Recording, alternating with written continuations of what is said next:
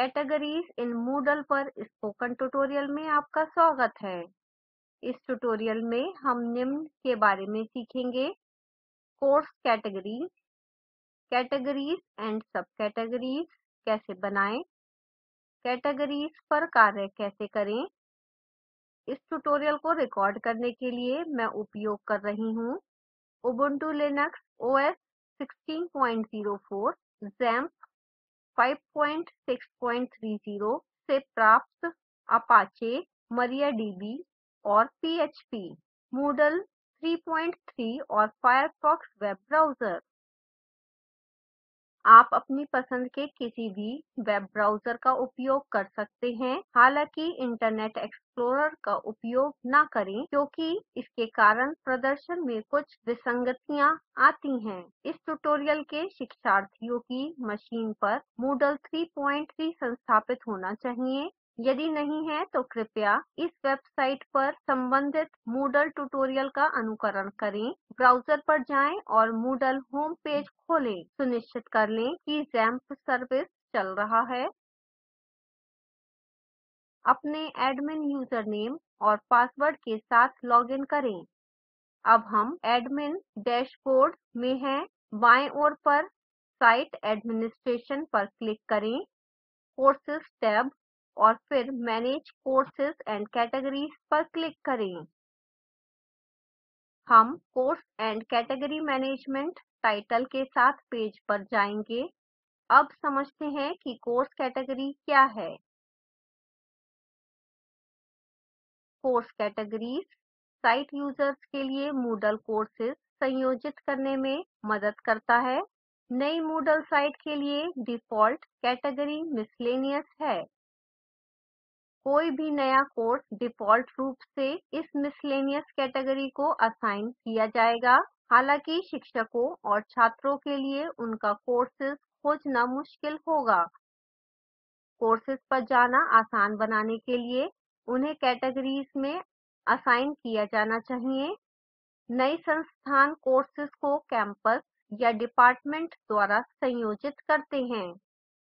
अधिक लिए वर्णनात्मक नाम रखना अच्छा है हम आगे बढ़ेंगे और department से अपने courses संयोजित करेंगे उदाहरणस्वरूप हमारी maths category में सभी math courses होंगे moodle site पर वापस जाते हैं पहले हम course and category management page layout समझेंगे बाईं ओर पर हमारे पास navigation block है और दाईं ओर पर content region है content region दो columns में विभाजित है बायां column course categories दर्शाता है दायां column चयनित category के तहत courses दर्शाता है डिफ़ॉल्ट रूप से यह miscellaneous category में courses दिखा रहा है यह दृश्य दाईं ओर स्थित menu से बदला जा सकता है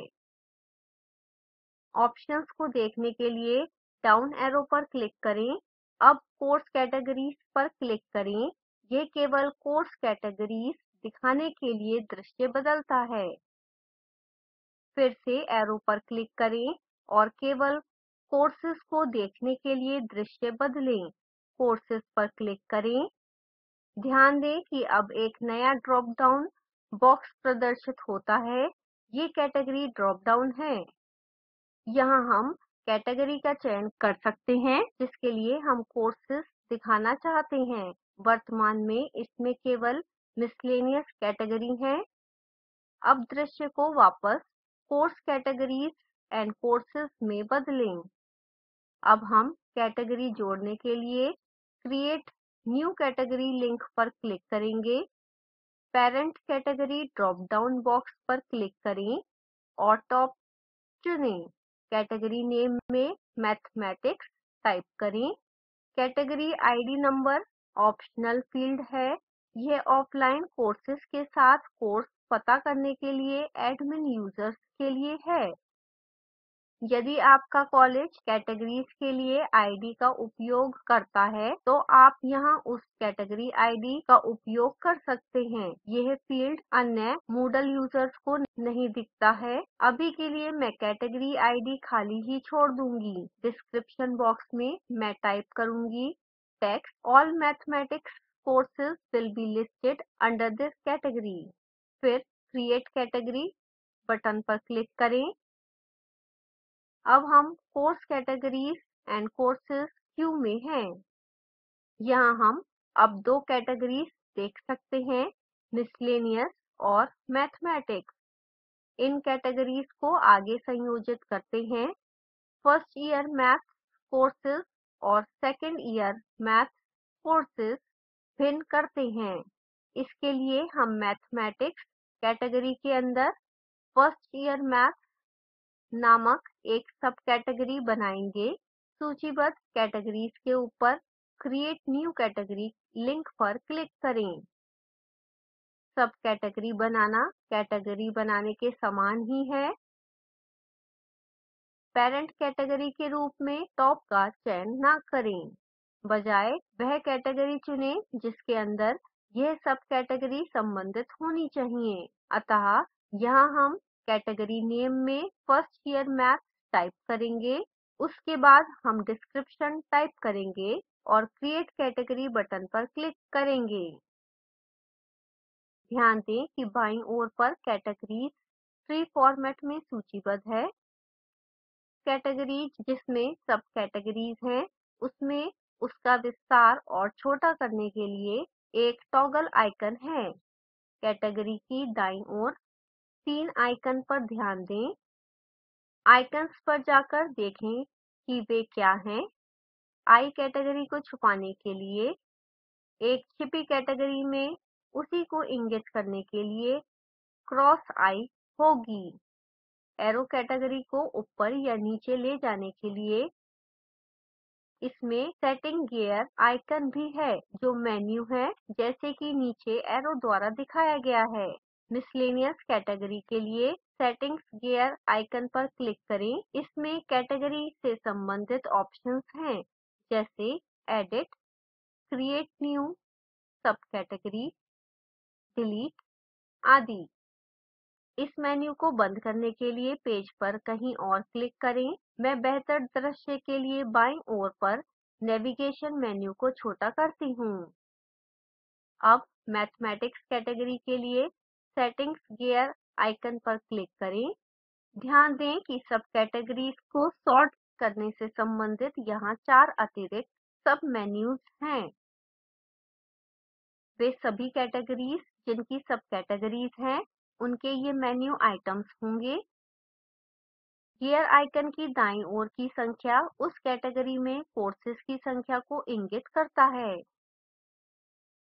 category सूची के नीचे वहाँ sorting options है आखिरी में subcategory की parent category को बदलने के लिए option है इस option का उपयोग करने के लिए आपको subcategory के आगे स्थित checkbox को check करना होगा फिर नई parent category चुनें और move पर click करें हम अभी इस option का उपयोग नहीं करेंगे इसी के साथ हम इस tutorial के अंत में आ गए हैं संक्षेप में। इस ट्यूटोरियल में हमने सीखा course category categories and sub categories कैसे बनाएँ कैटेगरीज पर कार्य कैसे करें। यहाँ आपके लिए एक नियत कार्य है। मैथमेटिक्स में एक नया subcategory second year math जोड़ें। कैटेगरी मिसलेनियस डिलीट करें।